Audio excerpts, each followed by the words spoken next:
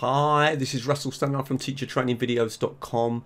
I've got a really useful video for you today if you're interested in the idea of adding audio files to your Google Forms. So if you're making a Google quiz and you want the students perhaps to listen to something and then to answer some questions after, then this is going to be a really useful video for you. Obviously, this is ideal for language teaching if you want to create, create some kind of listening comprehension, but also good if you were, say, teaching history or geography and you wanted to record something and then get the students to answer some questions. So what I'm going to do is show you one of the easiest ways to actually make an audio recording and then how you can link that into your Google form and then of course quickly how you make a Google form form quiz and share it with your students. Hope you like the video and as always if you do please like it, please share it with other teachers, please leave any comments below and of course if you want to follow my work come over to teachertrainingvideos.com there's loads more free videos and you can sign up to the newsletter and keep up with all the blog posts, the articles I write,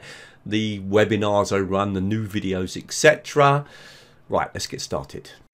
Now there are loads of free audio file systems around on the internet for doing recordings, but this one is one I really like, onlinevoicerecorder.com.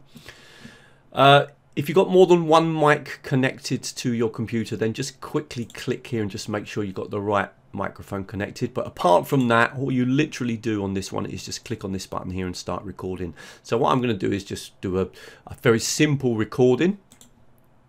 Hi, my name is Russell Stannard, and I was previously a language teacher uh, working in schools and then at university, and now I train teachers in using technology. I can even pause and count continue. I run a website called teachertrainingvideos.com. Now, if once I've finished, I just click on the stop button, and I've now made a recording. So let's play back the audio and just check it's working. Hi, my name is Russell Stannard and I was previously a language teacher and you can see that it's fine. Now there's one really nice thing about this technology as well. I can actually cut bits out. So if I wanted to cut out, say, that part and start the recording only from here, uh, working in schools and then at university and now I train. Okay, so I can do that and I can actually do it the other end as well so I can cut bits out. Once I'm happy with my recording, I simply click on this button here, save. Now what's going to happen is that is going to save in your downloads. Okay, so you will need to know when you save an audio file or when you save one of these files where your downloads are. Now in my case, because I'm using Google Chrome, I can actually click here and click on show in folder and I can clearly see that recording. Okay, so you will know, need to know whether you're using a PC or Mac where your downloads are saved. Because what you're going to do now one very simple thing just simply move that downloaded audio file into your Google Drive. And that's really important because then you can link it to your Google Forms super easily.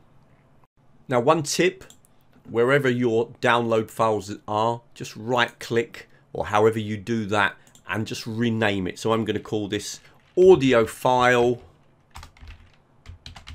talking about me okay simply because it's going to make it very easy when I drop that into my Google Drive for me to be able to find that audio file now all I need to do with that audio file now is to put it into my Google Drive. So I'm just going to kind of minimize the, uh, the, the, my download screen because what I'm going to need to do now is quickly jump over to my Google Drive. And obviously if you don't know how to get to Google Drive, if you're on your sign into your Google account, just click over here on your apps. These are all the apps that you get with Google and click on Google Drive okay? And that will open up your Google Drive. Now all we need to do now is drop this audio file into our Google Drive and the way that Google Drive works makes it very very easy to do. So what I'm going to do is going to make that a bit smaller. So we've now got two kind of windows. The first window obviously is where my audio file is and this second window is my Google Drive and what I normally do is go right to the bottom of the Google Drive just to make sure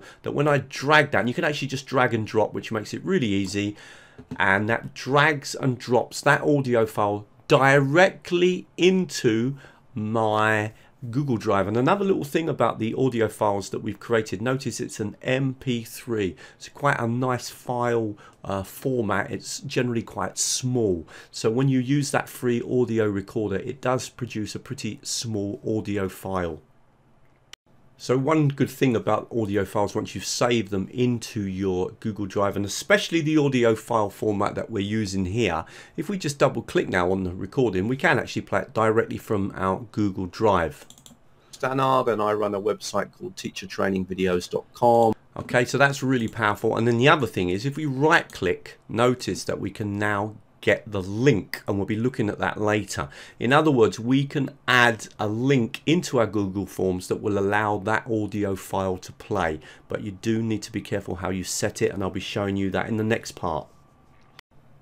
So the next thing we need to do is to create a Google form, make it a quiz and then add that file in, add our questions and then share it with the students. So it's really easy. We're going to go onto our Google Drive because click on new because obviously Google Drive has Google Forms. Going to come down to our Google Forms. We're just going to make a blank one. And we're going to call this new listening comprehension. Okay, little tip here. When you make, uh, when you give a new title to a new Google form, if you click here, it will grab that title and use it and that will become the actual file name when you look for the file in your Google Drive. Now we're going to make this a kind of quiz, so in other words, or a formative assessment. So we're going to actually make it that the students listen to the audio file and then answer the questions and they get immediate feedback. Did they get the answers wrong or right? So to do that, the only thing I need to do is to click onto the Google form up here in settings, go over to the quiz button and make sure I've set this to be a quiz. And that, that simply means that we need to tell the Google form what the correct answers are. Now one thing you can do is actually put the audio file at the top here. So I'm going to say listen to this audio and then answer the questions below. So really simple way and all I need to do now is make a bit of space. Now we need to add the link to the audio file here. Now what we need to do is to provide the link to the audio file. So we're going to come back to our Google Drive. We're going to right click over the audio file and what we want actually doesn't really matter either of these buttons will do you want to click on get link and what you want is to copy this link that will allow people to be able to view or in this case hear the file so click on copy link come back and we're going to just paste in underneath the link to that audio file. Now, let's actually have a quick look at how that would look uh, in the view. So we can click on the preview and see that and you can clearly see that the link is working. Now all we need to do is to begin to add the questions. You can close down the preview window, come back. Let's get editing now. So I'm just going to come down here and I'm going to just add one or two questions. So I'm going to quickly write in two multiple choice questions.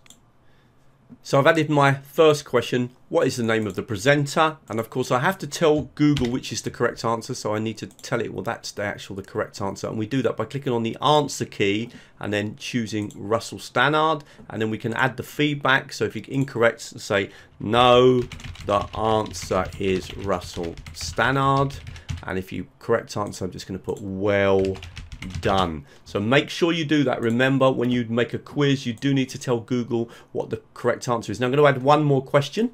Alright so I'm going to click on plus. In fact I can decide how many points you get for getting that right.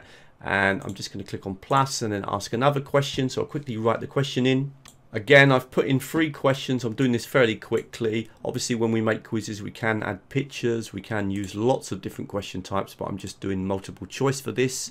And um, I will provide you link at the end to other Google Forms if you want to learn more about Google Forms. We need to put the answer key in. So again, we've got to say which is the correct answer. And the correct answer is his website is called Teacher Training Videos. Again, we add the feedback. Incorrect, we can say, no, it is Teacher training videos okay which is the name of the website on correct answer we're just going to say well done right we're nearly there okay so we've now produced our uh, quiz all done Okay, we can click on the done button. It's all uh, done. We've got two questions. We've got an audio file. And if we was to click now on the preview button, we should see it's looking pretty good. I forgot to add in the points, so I'll do that now. It's going to come back and make sure that you get a certain number of points for the second question. So if we just click back onto here, okay, if I remember rightly, I can put in the answer key. I'm going to make sure that I got five points for that one as well. Okay, so we're done again. And now we've got five points for the second one. So let's actually see now, how do we share this with our students? Now, this is where a lot of uh, teachers make a mistake. Click on the send button. And what you need to do in this particular case is to click here on the link. Okay, this is the link to the Google form. You can actually even make it shorter.